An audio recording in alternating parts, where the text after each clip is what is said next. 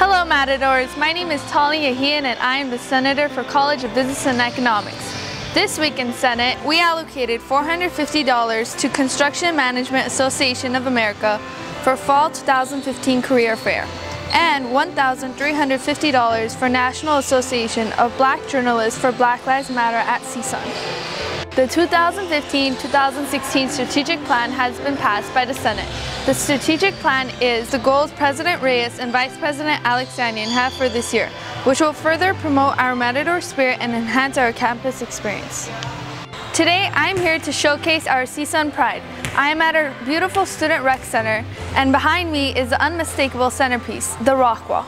This rock giant stands three stories tall and with specialized 13-foot tall bouldering sections, equipped with 12 top rope anchors and a wrap.